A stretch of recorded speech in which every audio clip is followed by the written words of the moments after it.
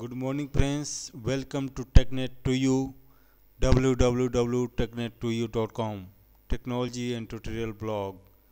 Today I am going to tell you how to speed up shutdown time in Windows 7. If your computer if your Windows 7 shutdown performance is slow then you can reduce the shutdown time of your computer means that means can speed up? Shutdown time in Windows 7 okay friends let's start. First click on start button then type reg edit. Then click on registry edit.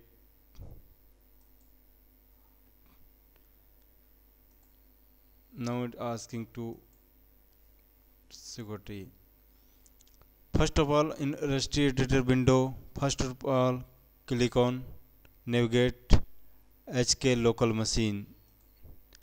After that navigate systems and then follow up control current control set.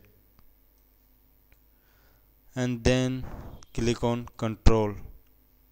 After control now you will see in the right pane wait to kill service timeout double click on it and you will find value data is 12000 this is the default value. This is default value. The value range is the type number between 2000 to, to 20000 to 20 second.